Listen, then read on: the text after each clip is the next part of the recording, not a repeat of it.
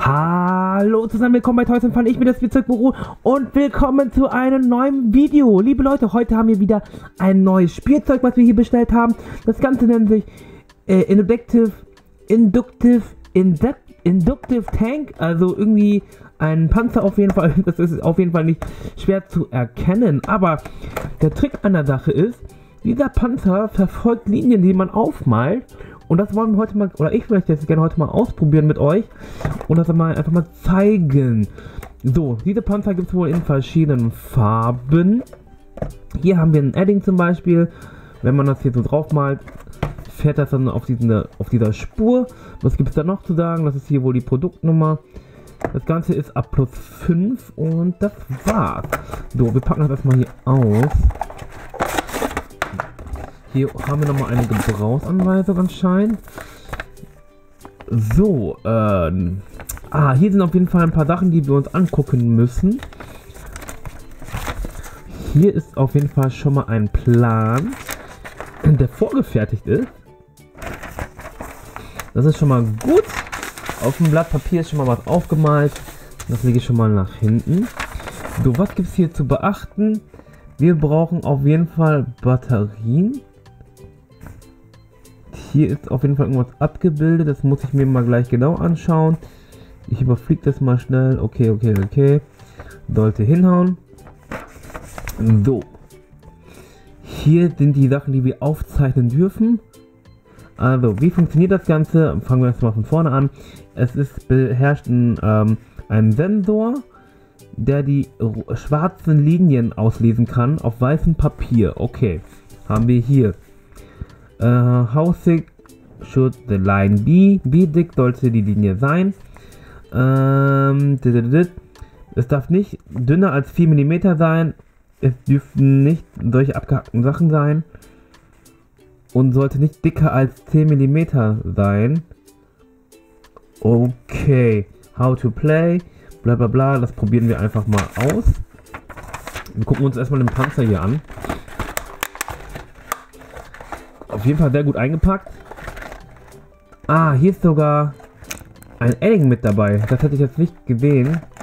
Denn ich habe mich nämlich anders vorbereitet. Ich wollte nämlich noch ausprobieren, ob es auch mit anderen Farben probiert, mit Filzstift. Dann haben wir hier noch äh, Filzstifte etc. pp. und einen Buntstift.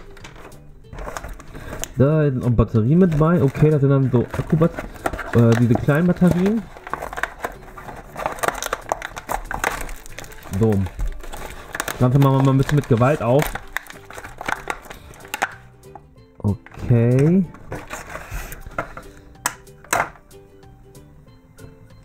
Da ist der Sensor auf jeden Fall, der dann die Sachen ausliest. Und wo können wir jetzt die Batterie einsetzen? Was müssen wir hier aufschrauben? Anscheinend muss ich mir die Gebrauchsanweisung doch nochmal anschauen. Und die Schrauben sind auch verdammt windig. Naja, egal. Hier kann man auf jeden Fall an- und ausmachen. Hier drauflegen. Und dann sollte es auf jeden Fall losgehen. Naja, ich schaue mir jetzt nochmal an mit den Batterien und dann melde ich mich später nochmal. So, liebe Freunde, ich habe es endlich geschafft, das Ganze hier aufzumachen. Aber die Gebrauchsanweisung ist echt dumm erklärt. Also wie ihr schon sehen könnt, für mich ist das die Unterseite des Panzers. Oder was meint ihr? Ich habe die ganze Zeit versucht, hier oben drauf zu schrauben. Die Schrauben sind so winzig. Und dann habe ich irgendwann hier oben gesehen, dass, dass da auch eine Schraube ist. Und habe da einfach mal rausgeschraubt. Und ja, wie ihr sehen könnt, man muss hier oben drauf schrauben und nicht hier unten. Also schaut euch mal die Gebrauchsanweisung an. Also ich habe ja erst nach okay. Ich muss sagen, im ersten Nachhinein ich bin einer, wo ich immer auch nur auf die Bilder achte. So, für mich ist das Teil unten. Irgendwann habe ich dann halt gelesen, Top of the Car, habe es mir oben angeguckt und dann habe ich es auch gefunden. Also, liebe Leute, immer dran denken, die Gebrauchsanweisung ist nie verkehrt. Und daran habe ich jetzt ein bisschen Zeit verschwendet, aber ist auch egal. So, dann wollen wir das Ganze doch mal hier befüllen.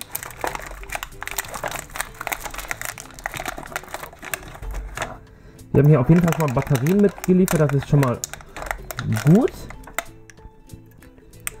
So, da kommen auf jeden Fall jeweils zwei Stück rein. Wenn ich jetzt richtig gesehen habe. Ja. Aber es scheitert mal wieder an meiner Kunst. So, jetzt nochmal. Ah, es wird nicht so funktionieren. Geht das dann so besser? Ne, auch nicht. So, eins ist drin. Das andere drücken wir jetzt hier ein bisschen runter. Na, nicht ganz. Das Ganze probieren wir nochmal. Runterdrücken. Jetzt ist aber mein Finger dazwischen. Zack, und es ist drin. Eieiei, was für eine schwere Geburt. Hoffentlich sind die Batterien richtig drin. So, runterdrücken, nach hinten halten und das andere hier schnell einsetzen. Einmal kurz probieren, ob es funktioniert. Ja, es funktioniert. Das ist schon mal gut. Da habe ich nichts kaputt gemacht. Schrauben das Ganze nochmal schnell wieder zu. Äh, wie rum war das denn jetzt? So.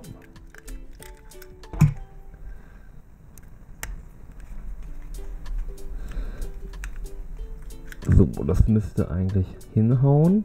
Ja, das Ganze haben wir jetzt wieder zugemacht. Und jetzt können wir jetzt eigentlich damit anfangen zu spielen. Eieieiei. Das hat so lange gedauert. So, wir werden erstmal das hier probieren.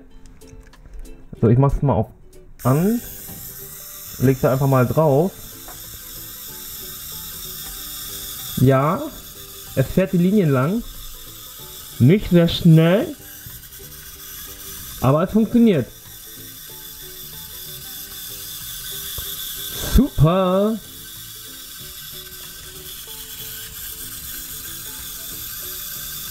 Sehr, sehr, sehr schön. Also die Vorlage funktioniert.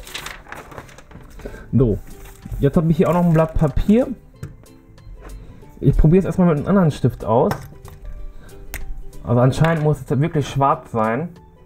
Wir machen erstmal eine gerade Linie. Das sieht schon ziemlich dünn aus. Das wird glaube ich dann nicht funktionieren. Nein. Tut es nicht. Es sucht wohl nach der Linie. Deswegen dreht es sich nur im Kreis. Machen wir mal wieder aus. Versuche das mal ein bisschen dicker zu machen.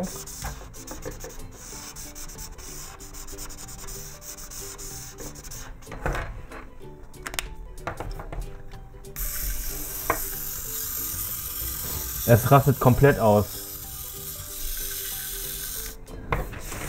Also anscheinend funktioniert es nur ja, mit einer schwarzen Linie. Deswegen kann ich es mir auch sparen, mit diesen anderen Stiften hier zu malen. So, jetzt probiere ich mal mit dem mitgelieferten Stift. So, natürlich alles hier auf einer anderen Sprache. Ist aber auch nicht so schlimm. So. Dann, ähm, hier sehen wir, es ist hier nicht gerundet. Dann halten wir das mal so quer. Und dann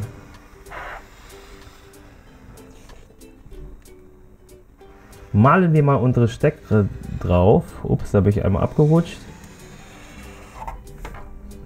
Das sollte hinhauen.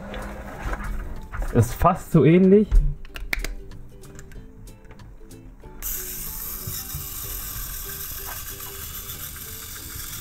Und es funktioniert wunderbar. Es hat sich schön gedreht. Anscheinend hat diese Ecke nicht mitgenommen. Ah, so rum funktioniert es auf jeden Fall. Sehr schön. Ich male noch mal eine andere Strecke auf.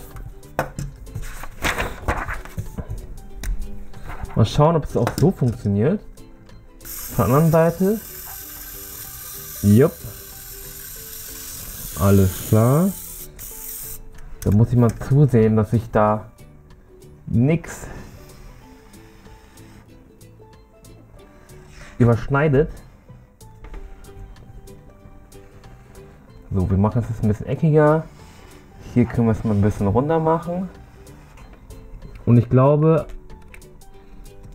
an den Ecken wird es auf jeden Fall scheitern. Probieren wir es nochmal aus.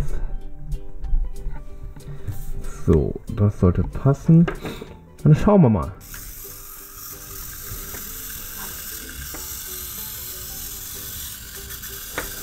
Er hat die, wieder die Ecke gesucht. Die nimmt er mit. Jawohl. Jawohl. Jawohl. Perfekt. Also am Anfang hat es wohl immer Startschwierigkeiten. Aber nach funktioniert es richtig gut.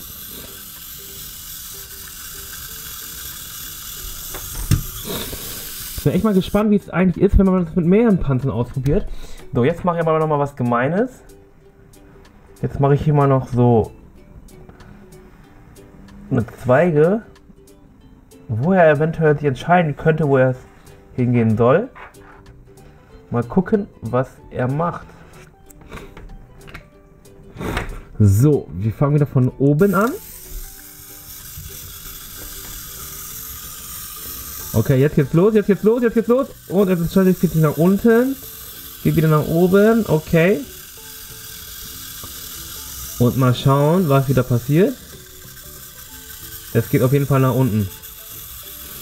Anscheinend, weil dieser Strich dicker ist. Aber naja. Liebe Leute, ich würde sagen, das war's mit diesem Induction Tank.